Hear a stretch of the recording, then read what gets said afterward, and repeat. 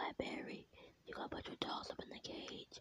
While we go traveling to go look for Snowpaws and don't try to attack us or someone else. Fiver, I am not putting my dolls up to go travel someplace that really isn't there. Can you just go look for him, please? I really miss him a lot. Fiver! No, we're not gonna go look for him.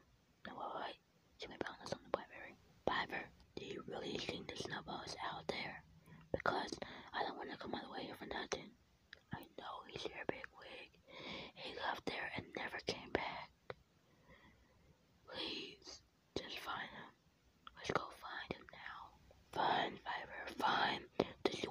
so bad? Let's go. But if we get our ears chewed off for this,